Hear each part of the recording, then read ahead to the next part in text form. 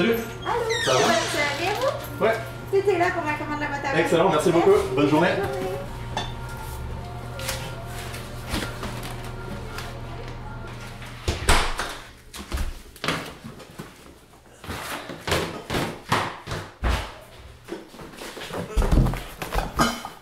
Salut les amis, j'espère que vous allez bien. Aujourd'hui on se retrouve pour une nouvelle vidéo avec la boîte à vin.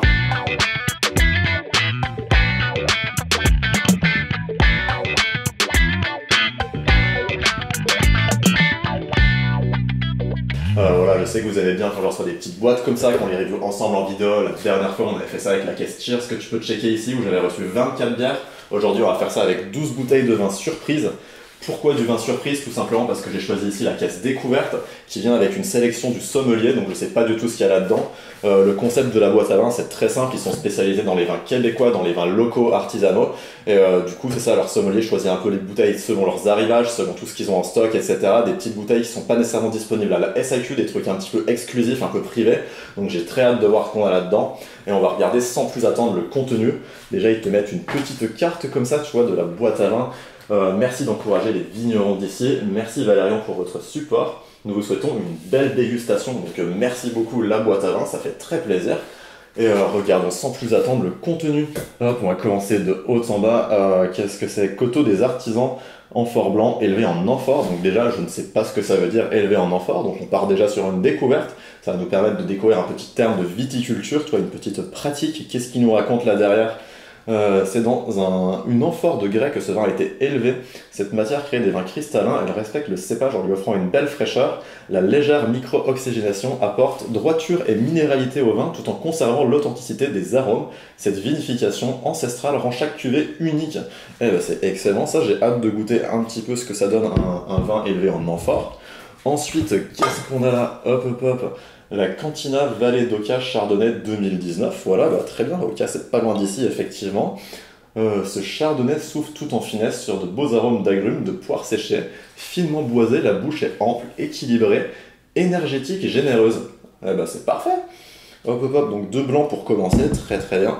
Qu'est-ce qu'on a d'autre? Bah après, il n'y a jamais 203, hein. regarde-moi ça, 1000, 1000 bois, voilà, blanc.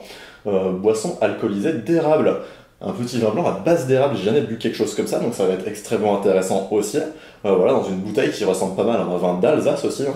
Pourquoi pas? On va mettre ça ici. Ensuite, ensuite, ensuite, qu'est-ce qu'on a là? Un rosé. Domaine La Branche, voilà, érablière, verger, vignoble. Donc, euh, cuvée Frontenac, voilà. Donc, Frontenac qui est un, un cépage en fait qui a été développé, me semble-t-il, au Minnesota. Euh, qui a la particularité de bien, résister, de bien résister au froid. Donc c'est vrai que c'est extrêmement pratique au Québec ici avec les petits hivers, euh, moins 30 degrés Celsius et des conneries comme ça. Un cépage qui résiste au froid, c'est quand même plutôt pas mal. Donc là, on est sur un rosé fait de Frontenac, donc c'est très très bien. Qu'est-ce qu'il nous raconte? Arôme généreux de fraises, framboises, canneberge, melon d'eau, ainsi qu'une pointe de fleurs séchées. Ah dis donc, ça a l'air assez complexe comme rosé, j'adore ça. Euh, voilà, moyennement corsé, tanin léger, acidité bien équilibrée.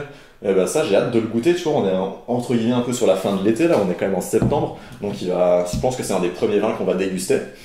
Voilà, voilà. Alors, la deuxième ligne, qu'est-ce qu'on a là-dedans? Un peu de rouge, voilà, un côte de Beaupré.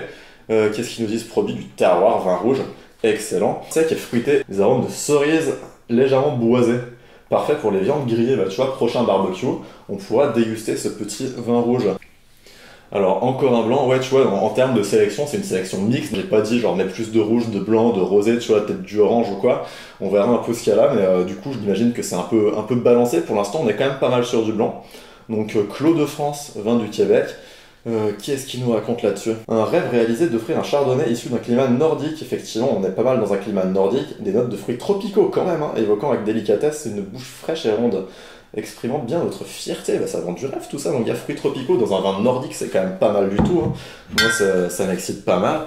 Alors, oulala, qu'est-ce que c'est que ça? Polisson Petmac, voilà, ça vient, euh, dis donc, avec une, une capsule, tu vois, plutôt qu'un bouchon. Qu'est-ce donc Petit vin artisanal, ça un cidre, effectivement, c'est du coup ça expliquerait la capsule, hein, c'est sûrement un cidre pétillant. Cidre mousseux, voilà, c'est ça. Euh, Ça fait plaisir d'avoir un petit cidre, tu vois, je m'y attendais pas nécessairement.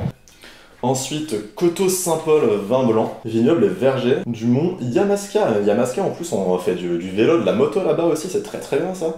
Donc je connais, tu vois, à peu près le, terroir, hein, ce terroir chaud composé de, de limon sablonneux et de gravier. Fraîcheur, souplesse, un nez qui rappelle la pêche blanche, l'abricot et l'amande douce, disons. Ce vin fait Frontenac blanc. Ah oui, de Frontenac blanc aussi, tu vois. Donc Frontenac qui est quand même assez populaire au Québec, euh, tout simplement parce qu'il fait quand même crissement froid l'hiver, t'as pas non plus un, choix magistral de, cépages ici. Hein. Euh, voilà, texture enrobante et une finale aromatique. Magnifique Disons température de service 7 degrés, donc tu vois, il faudra pratiquer le, saut au frère pour, euh, pour le refroidir. Ensuite, fraîcheur du fleuve, vin rouge. Disons, bah, si tu arrives à lire, là, je vais, je vais t'inviter à lire toi-même parce que moi, je suis pas nécessairement capable. Rouge, fruité, frais, fleuve, simplement. Ouais, bon, on passera un petit peu plus de temps à lire. Alors, Coteau Rougemont, versant blanc, voilà. Eh ben, Rougemont, d'ailleurs, euh, Rougemont, on y était allé à vélo. Euh, c'est dans les cantons de l'Est, voilà. Donc, on était allé au, vignoble. Hein. C'est-tu un berger aussi, potentiellement? Vignoble et cidrerie, tu vois. Donc, effectivement. Euh, c'est ça, on était allé là-bas directement au Coteau, Coteau Rougemont. On avait mangé des petits saucissons, des petites planches de fromage et tout. On avait dégusté le vin, c'était magnifique. Donc, ça fait très plaisir d'avoir un petit Rougemont dans la sélection aussi. Voilà, on connaît, c'est la famille un peu. Hop, hop, hop. Alors, le chenapan euh, vignoble, les Vurmures. Très très bien. 2015, dis donc, il a été, euh, il a été bien vieilli celui-là. Qu'est-ce qu'il nous raconte là-dessus? Ce vin rouge est mis en marché à partir de 4 ans de vieillissement. Effectivement, hein, au nez, il présente des notes puissantes, boisées et épicées, moelleux et velouté en bouche. Il se démarque par ses riches arômes de cassis ses subtiles notes de vanille. Ah, j'adore les, petits alcools comme ça qui, euh, qui dénotent des notes de vanille. Donc ça, ça va faire très plaisir. Élégant et bien équilibré. Euh, son vieillissement de 12 mois en fût de chêne français affine la complexité et le caractère de cet excellent terroir. Ça nous vend du rêve, tout ça, mon gars, j'ai hâte de goûter. Et alors, dernière bouteille, qu'est-ce que c'est? Un petit rouge pour finir, voilà, pour équilibrer tout ça. Vignoble, les Gémeaux. Euh. Bien, bien, bien. Euh, notre objectif, de faire découvrir ce vin issu de notre terroir de la vallée du Haut-Saint-Laurent. Euh, pas plus de description que ça. Bon, bah c'est bien, ce sera un peu un, surprise, ça, tu vois. On, on, dégustera directement, ce sera notre propre idée. Donc, bah voilà, je pense qu'on a pas mal fait le tour de, cette belle bouteille, tu vois. Alors, on va regarder un peu le line-up. En fait, on va, on va faire comme la dernière fois un petit peu. Là, je vous ai montré toutes les bouteilles, toutes les étiquettes, j'ai lu un peu les descriptions. Euh, dites-moi dans les commentaires quel vin vous excite le plus dans cette liste. Et euh, je le réduirai peut-être en vidéo. Voilà, on est quand même sur un, line-up de qualité. Euh, oui, ce que j'ai pas dit aussi, c'est pour finir.